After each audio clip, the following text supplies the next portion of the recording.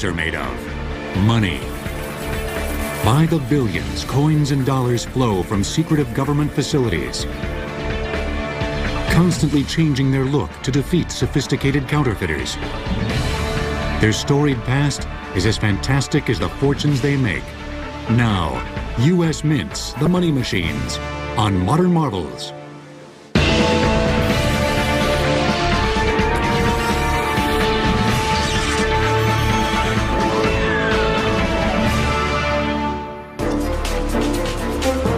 Physical act of making money in the United States is big business. Many of the techniques used by the modern-day moneymakers were actually developed centuries ago, when making money was a confusing and often frustrating experience. The U.S. Bureau of Engraving and Printing, which prints paper money, and the U.S. Mint, which makes coins, are some of the busiest manufacturing plants in the world. The Mint's two production facilities and the Bureau's two printing plants operate 24 hours a day, seven days a week, turning out coin and currency. The Bureau of Engraving and Printing produces uh, approximately 40 million notes a day. These notes have a face value of between 600 and 700 million dollars, depending on denominations that we're running. At the U.S. Mint, officials oversee the production of multiple fortunes. We produce up to 20 billion coins a year, and we sell another $400 million worth of gold, silver, and platinum bullion coins and collector coins that we sell all over the world. Plus, we protect about $100 billion worth of assets of the federal government at Fort Knox and at our other facilities around the country. Working in conjunction with the Department of the Treasury, the Bureau and Mint continually feed the economy's voracious appetite for new money. Though coins have been around since before Christ, it was the Roman Empire that first struck coins as a standardized method of currency. The precious pieces were emblazoned with images of leaders, like Julius Caesar. The term to strike a coin is still used today. It comes from the early method used to make a coin. Artisans would hand carve metal dies, place the molds over pieces of heated metal, and strike down with a hammer to embed the image onto the new coin. But it was during the tense days of the American Revolution that the world's most powerful form of money, the American dollar, was forged.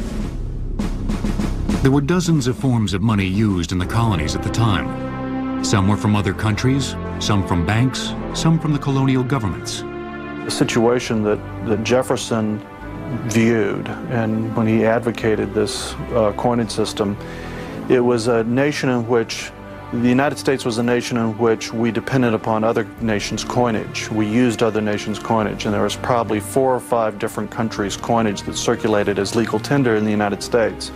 And it was a mess because every colony had its own exchange rate, and it had multiple forms of coinage that were circulating. Thomas Jefferson believed the only way the new nation could survive was to have a unified monetary system with his backing, Congress enacted the Mint Act of 1792. The legislation established the nation's first mint in Philadelphia, then the nation's largest city and its capital. Jefferson appointed the first director of the mint, a scientist named David Rittenhouse. Many experts believe that in an effort to get the mint into production, Martha Washington donated her family's silverware for the nation's first silver coins. And though the government had high expectations for its new mint, the building itself had more humble beginnings. They chose an old distillery, an abandoned distillery, and unfortunately that building has been lost to history. Ye Old Mint, as it was called, was a pretty modest facility. It was hand-turn presses which a number of men would uh, hand turn by pressing their bodies against it. As you can imagine, uh, through a process like that, the production of coinage was slow and the standards were inconsistent. In order for new coins to succeed, all other coins would have to be made worthless. It wasn't a popular idea. Jefferson really came to un understand how over the long term the country just could not conduct its, its business and it could not conduct its economy with this kind of a system. But it was a tough political sell to convince Congress that they should bite the bullet and spend these huge sums of money to create a mint and create a coinage system. And the really tough part was to demonetize all the, that coinage of other nations that was circulating here in the United States. That was a very tough sell. Slowly, new U.S. coins began circulating. Gold dollar coins, a half dollar coin, silver dollars, and a half dime, which eventually became the nickel. There were also two copper coins made, the penny and the halfpenny. Designs on the coins were chosen to represent the symbols of the new nation, Lady Liberty, and the American Eagle. American coins at the time had a value equal to the amount of metal that was in them. But since the coins were scarce, the colonies, banks, businesses, and even private individuals took it upon themselves to print early forms of paper money. Because the paper money was backed solely by a promise by the issuer to pay, the value of a paper note was always changing. These bills were early forms of promissory notes. They would go based on the faith of the people in that government that was issuing the currency or the person that was issuing the currency. Sometimes individual people would issue the currency and people would accept the currency because they knew that this person was a, a man of means and would take it back and they could circulate it around so they wouldn't have to carry around a bag of gold with them. There was no formal method of exchange. What a person could get for their money was up to them. We got into sort of a Tower of Babel in paper currency. We had a similar situation to what Jefferson had sought to alleviate with coinage. Currency traded around the issuing banks at face value or something close to face value. But then the further you got away from those issuing banks, they traded at a discount to face value because of the inconvenience of having to go take them back to that bank. And then once you got a certain distance away, they weren't worth anything. Uh, no one would accept them because they didn't know what the credit worthiness of that bank was. The American monetary system became more confusing when the nation experienced its first gold rush in the 1830s. Gold had been discovered in the mountains of the Carolinas and Georgia. Mining companies needed a way to get their newfound gold dust into circulation. The only alternatives was to take this gold dust and either ship it to the only mint in the country, which was in Philadelphia, and the roads were difficult to get to and took a long time, or to actually use the gold dust. For a while, stores near gold mines would have scales at the register. A miner could pay for his purchases with a pinch of gold dust. The process was messy and inconsistent. A German metallurgist named Templeton Reid, who had come to America in search of gold, had a better idea. If the miners couldn't get their gold to the mint in Philadelphia, then he would build his own mint near the mines. An illegal act. Reid's mint was an immediate success. Within a year, nearly 40 other privately owned mints had opened in the southeast. Gold coins poured into the economy. And though the government wasn't happy with privately minted coins in circulation, it didn't have the resources to stop them from being made.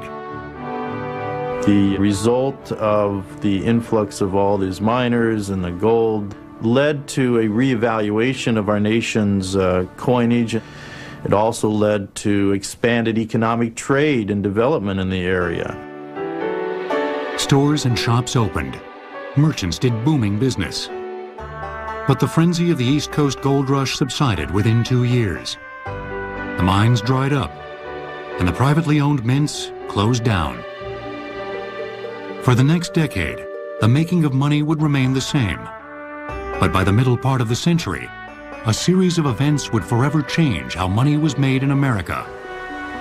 The gold rush of 1849 was just around the next bend. The words mint and money come from the Latin word moneta.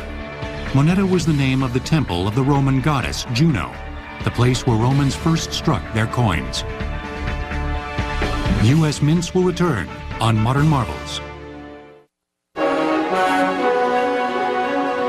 On January 24, 1848, a carpenter named James Marshall was inspecting the site of a proposed lumber mill on the American River, near what is today Sacramento. Marshall stumbled across some gold-colored nuggets. The great gold rush was on. Miners came in droves to Northern California. Gold flowed out of the hills.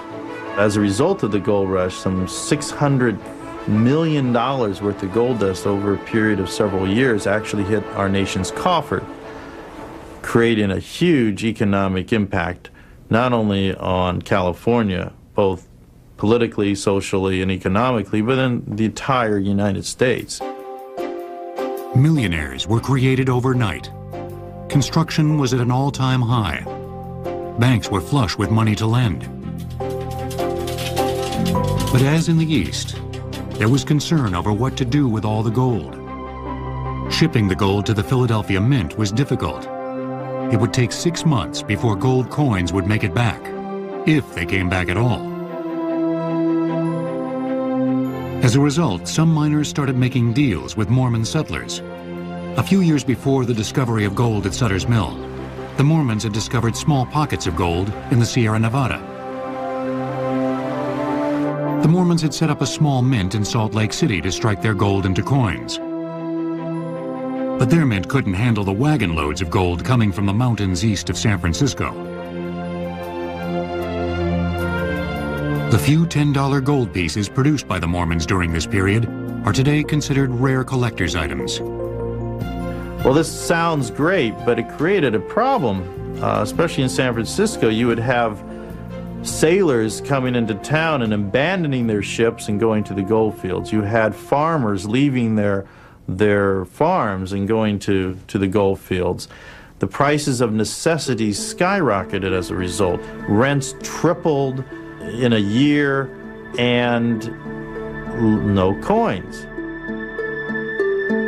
Miners tried to buy goods and services with the gold dust they carried with them.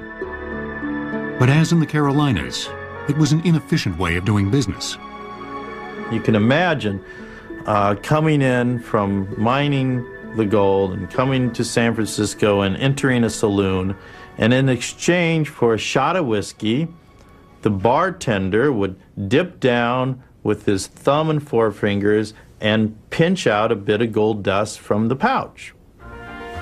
Well, Pretty soon, all the owners of the bars, and there were quite a few of them, would hire only big, burly guys. And they would ask them in their interview, now, how much can you raise in a pinch? The business community in California pleaded with the federal government to establish a mint out west. The tons of gold coming into San Francisco was causing mass confusion. And while the gold rush boomed in California, other states were lobbying the federal government to open assay offices, or mints, in their jurisdictions. Pennsylvania, Georgia, North Carolina, and New York all wanted their own mint. Having a mint nearby guaranteed a constant flow of coins into the economy.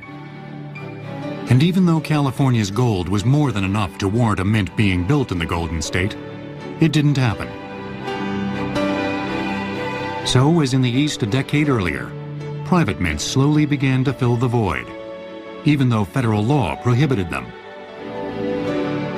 The first coins privately issued in California was in May of 1849 by Norris, Gregg, and Norris uh, out of New York. And they were located in Benicia, which is north of San Francisco.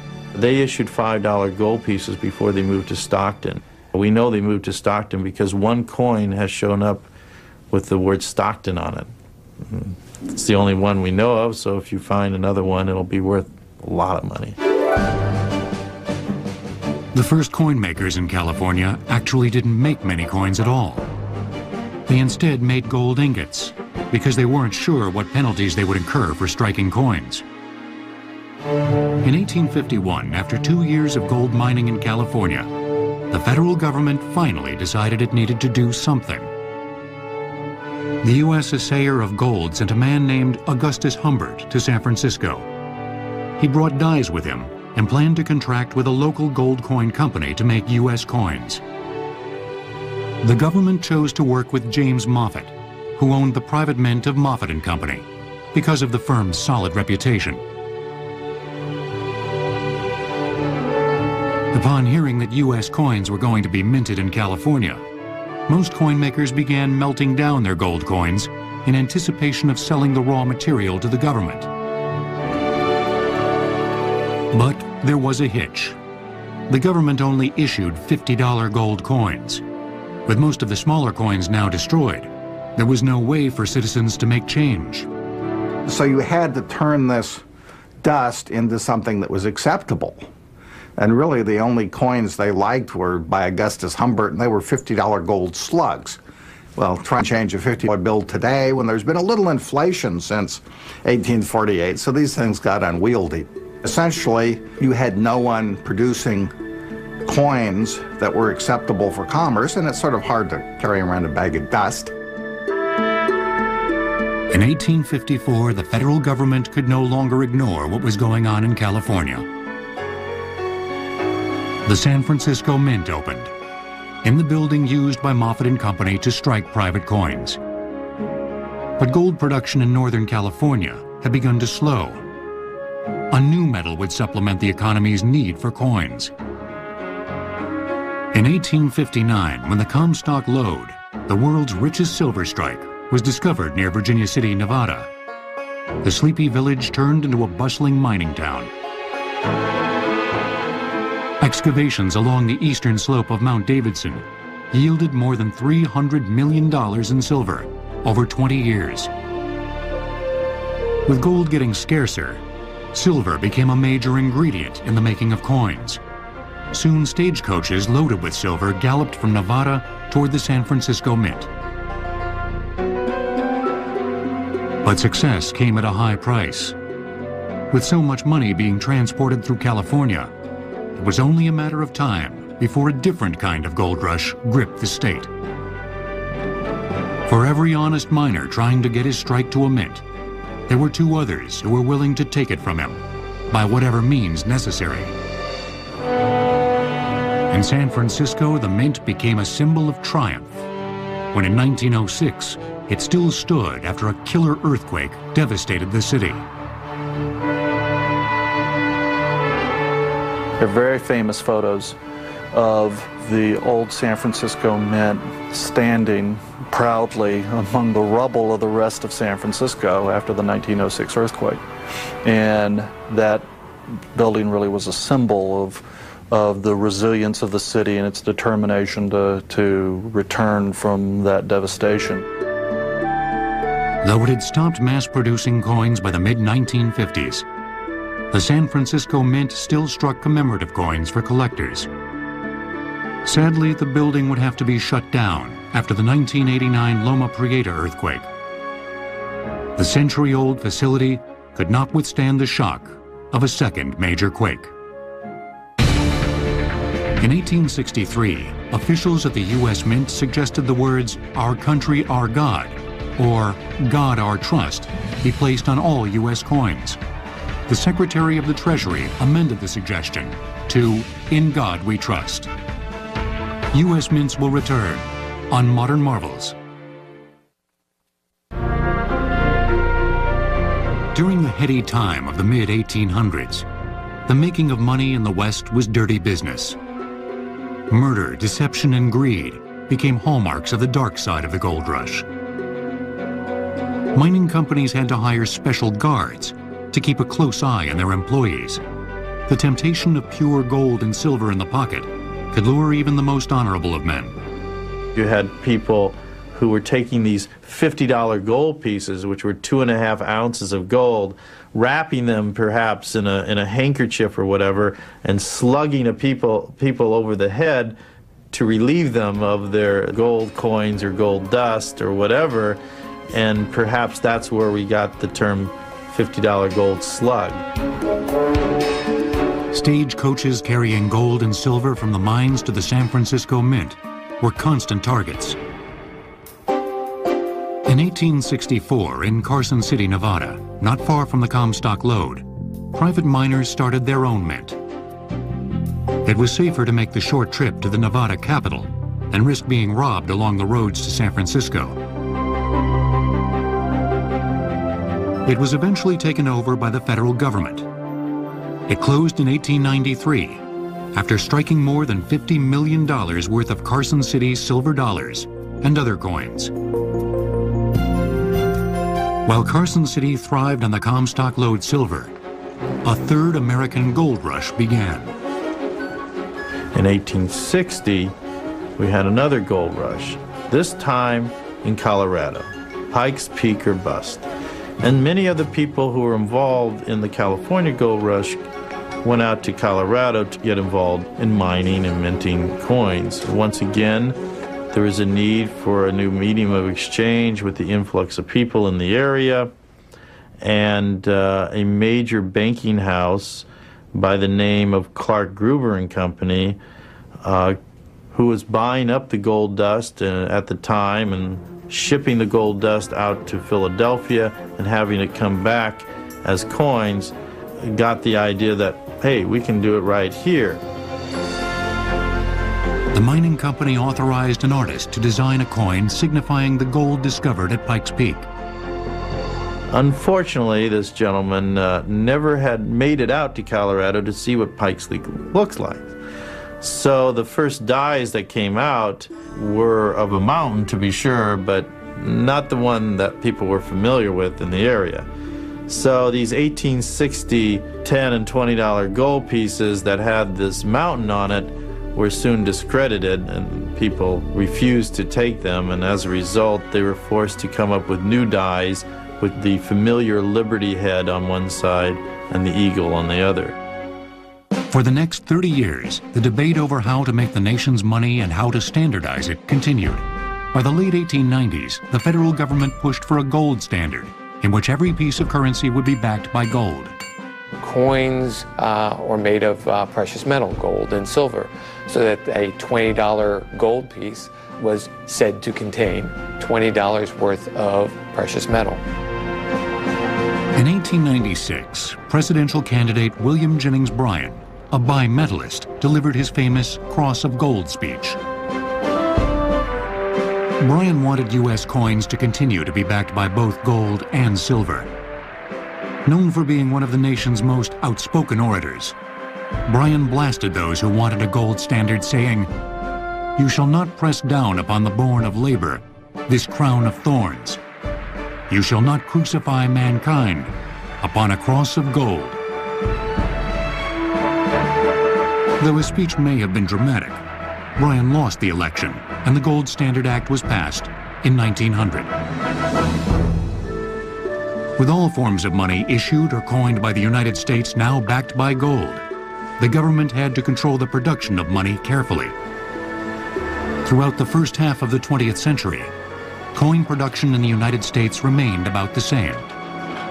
Between 200 million and 500 million coins each year. But during the Depression years of 1931 through 1933, the mint struck a total of just 70 million coins for all three years. Less than a decade later, during World War II, the mint struck up to 2 billion coins a year. During the last part of the 19th century, the U.S. Mint began to make commemorative coins. Historical events, such as the Battle of Gettysburg, were placed on coins as a way of enshrining some of the most important episodes in American history. Even presidents got into the act. Teddy Roosevelt worked closely with a famous artist to create one of the nation's most enduring coins. Teddy Roosevelt was a collector and he also took an interest in art. And he worked hand in glove, really, with the great American artist engraver, St. Gaudens, in the creation of what I think is one of the most beautiful coins in the world, and certainly one of the most beautiful coins produced by this country, which is the American Eagle design. It's the standing liberty that graces the gold coin of the United States even today. Sometimes coins such as the Susan B. Anthony were put into circulation without success. The dollar piece had a major flaw. It looked and felt just like a quarter and quickly fell out of favor. It's remarkable how deeply held people's feelings are about coinage. In currency in general, what I've really found is that there's a lot of resistance to making changes. And when you make changes, you really have to explain why you need to make them. However, in 1999, the U.S. Mint implemented the 50 state quarters program, which introduces five new quarters every year for 10 years. Each one bears a reverse design honoring one of the 50 states. The coins are released in the order that the states joined the Union. Besides protecting bullion depositories at Fort Knox, Kentucky, the Mint oversees depositories at West Point, New York, and has coinage facilities in Philadelphia and Denver. The act of striking coins is the same as it was 100 years ago. It's just done much faster. But what has changed is the material with which coins are made. The Coinage Act of 1965 eliminated all silver from the nation's dimes and quarters. In the United States, we shifted from a precious metal or silver-based coinage in the 1960s. And by the late 1960s, all of our coin denominations had moved from a silver base to a, a base metal in most cases a copper nickel or copper nickel combination. If you pick up a quarter that is dated in the 19, mid 1960s or earlier, if you can find one of those, and you can look at it from the side, it's all of one color, and that's because it's a 90% silver coin. If you look at the more modern versions of the quarter, they look like a sandwich. You have the red inner layer and the silver outer layers, and that's that copper nickel sandwich that we use today. While coins may have had an eventful history, paper money's story is equally dramatic, beginning with its becoming the government's most powerful weapon in wartime. Whenever the U.S. Mint has debated discontinuing the penny, the idea has been met with public outrage, especially in Illinois, the home state of Abraham Lincoln. U.S. mints will return on Modern Marvels. At the start of the Civil War, both the North and the South quickly realized they needed one thing very badly money. U.S. President Abraham Lincoln and Confederate President Jefferson Davis did the only thing they could do to raise more capital. They printed money. Paper currency was initially issued during the Civil War to fund the Civil War. Uh, the need for money far exceeded the coinage available at that time. Uh, the simplest, most uh, expeditious way of getting uh, money into the system at that time was to print paper notes. Though private institutions such as banks and businesses had printed their own paper money for more than 50 years, this was the first time for the federal government. Many experts believe that the first U.S. dollars were printed with green ink, out of fear of counterfeiting. The same technology that allowed photographer Mathew Brady to record the images of the Civil War could have been used to make duplicates of currency. Green ink was applied to one side of the nation's new currency because it could not be duplicated with black and white photography. Green ink was more chemically stable than other colors, and engraving officials believed the color green represented stability. Many experts believe that is where the term greenback first originated. And though the first US dollars were slightly larger than those in circulation today, the ink in the paper on which our money is printed is virtually the same. It's made of cotton and linen fibers as opposed to wood pulp fibers. It's not woven, it's not a cloth, it is a paper uh, but, the, but the material is a little different than your traditional paper. And, and this rag paper was so called in the old days because the cotton and linen fibers were actually obtained from rags. Because the new paper money was backed by nothing more than the government's willingness to pay, its value depended on the fortunes of the armies on the battlefield. When the Confederate government was doing well, its notes were high.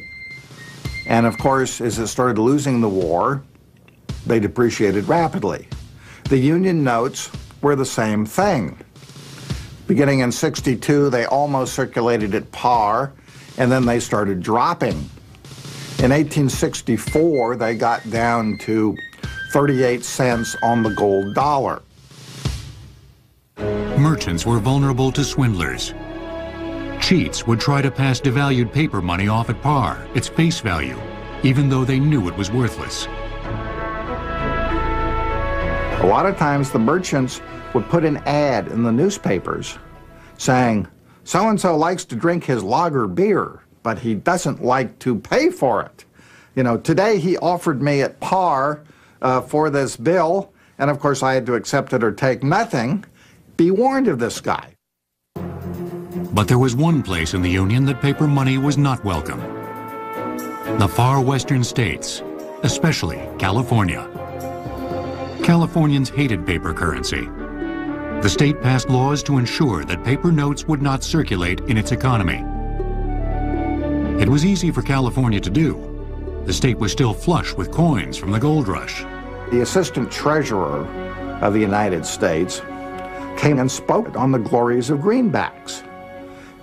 And of course, the audience was very appreciative. They yelled, Hang him! Hang him! Hang him! Chased him out of the building and they took refuge in a drugstore. But you know, if they'd caught him, you might have had the top federal government financial official dangling from a light post. San Franciscans were especially hateful of paper money. As an affront to the government, people who lived in the Bay Area would gladly accept only one type of paper money. That issued by a local character who believed himself to be of royal descent and that was put out by His Imperial Majesty Norton I, Emperor of the United States and Protector of Mexico. Poor Joshua Norton had come from South Africa, very successful gold rush commission merchant, tried to corner the rice market, lost when ships came in, and also his bankers weren't very nice to him, and he lost part of his mind. Well, in the 70s, he started printing his own money, usually in 50 cent increments.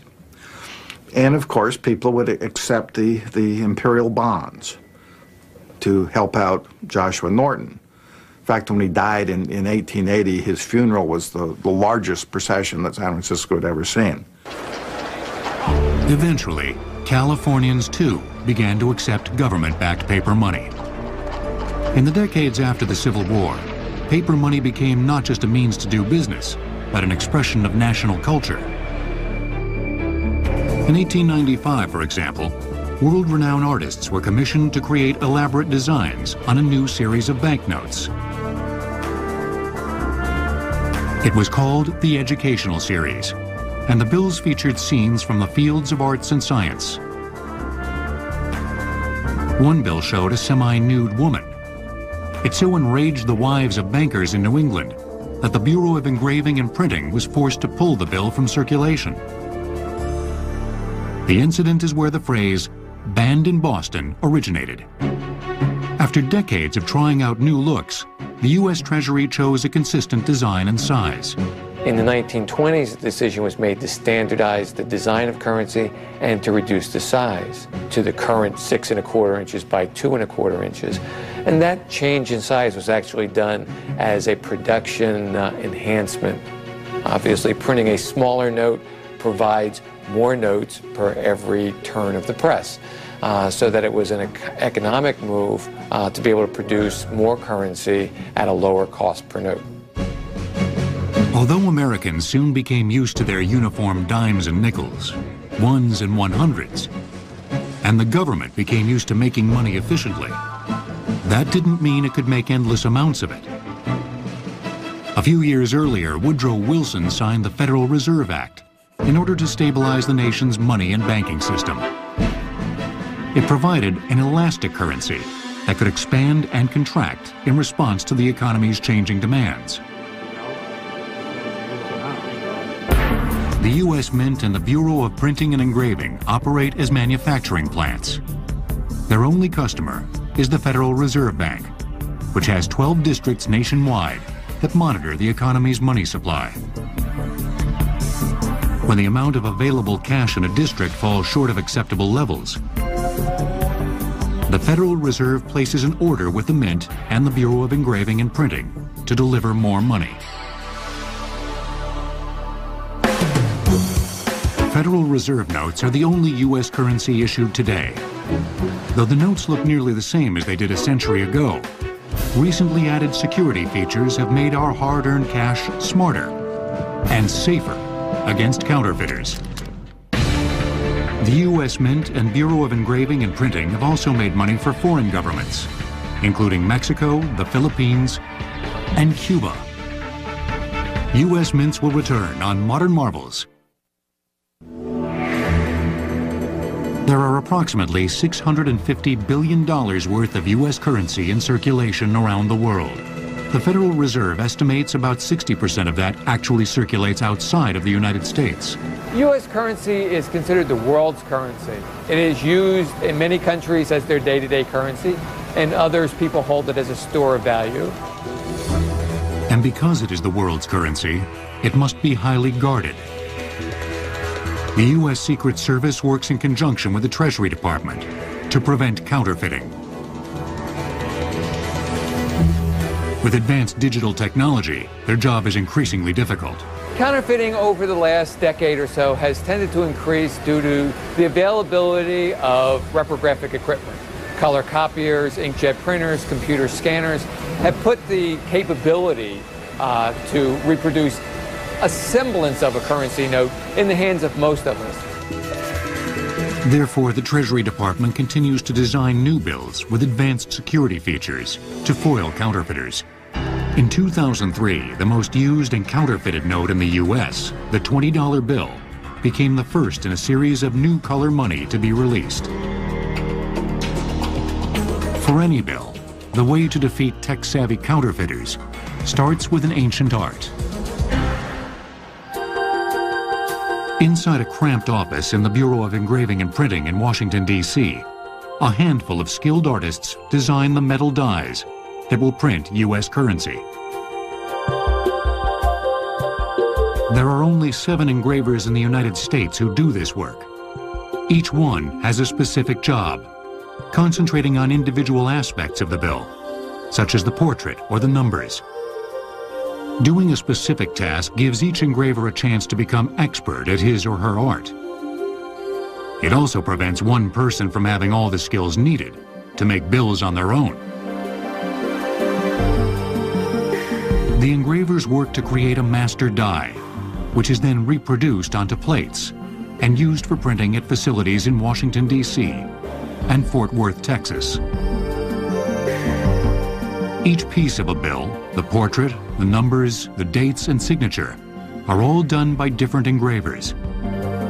Tom Hipschen has been an engraver for the Bureau for 35 years.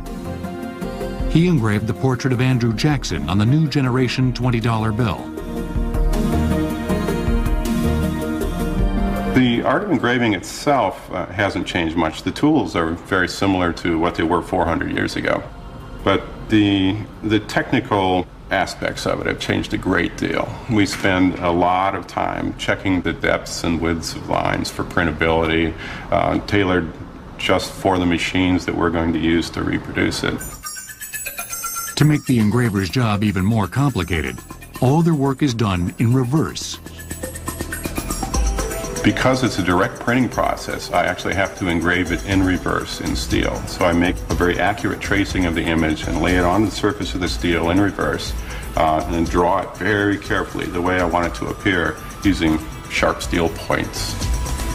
We still need hand engravers to engrave like the portrait and the vignette on the back. Secret Service relies heavily on our hand engraving in their counterfeit deterrent detection.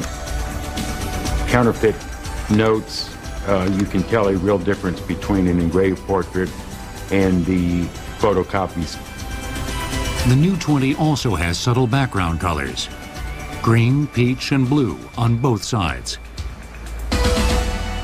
Adding color provides the Bureau of Engraving and Printing the opportunity to add additional security features, to make the note more complex, to make it harder for people to be able to accurately copy, to reproduce, make it easier for people to recognize, keep people's interest up, and make our notes safer, smarter, more secure. Not since 1905 has any U.S. currency had a colored background. Then the $20 gold certificate had a golden tint and a red seal. Today's new color money costs about 8 cents per note to make. And for the first time, the Bureau of Engraving and Printing used computer technology in its design.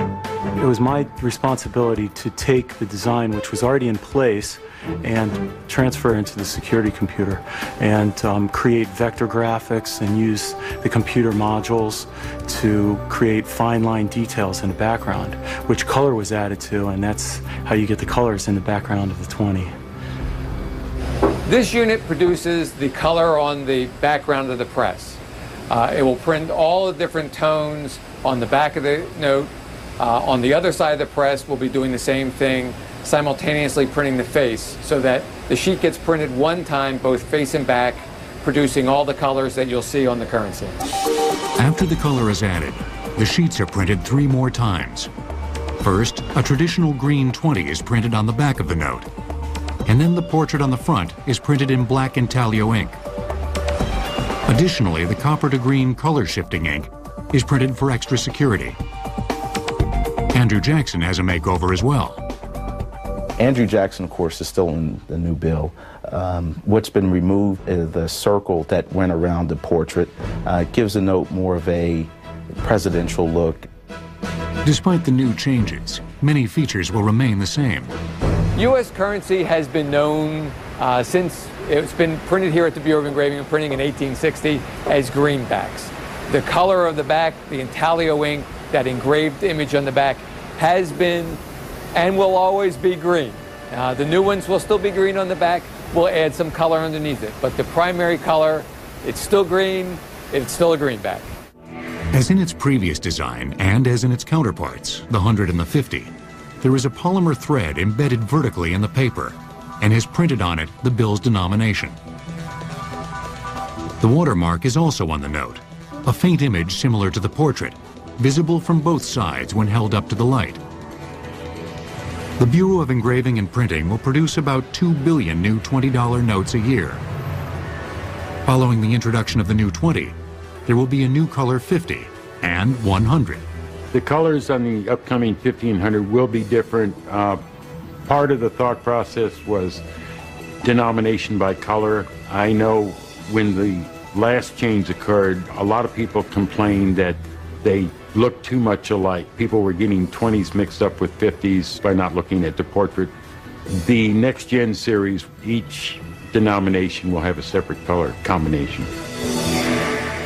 Right now, we've made no decision on a 5 or a 10. However, those are under study and well could be changed in the future. As the look of our money changes, so does the way we spend it. Today's monetary system is rapidly evolving. Credit cards, ATM machines, and electronic banking have become a way of life. As technology improves, there may come a day when the nation sees the death of money. But for now, those in charge of making money believe there will always be a need for cold, hard cash. Every piece of money the U.S. Mint and the Bureau of Engraving and Printing make is not only currency, but captures a moment in time and defines each generation. No other form of art carries with it the power and history that exists on every piece of legal tender.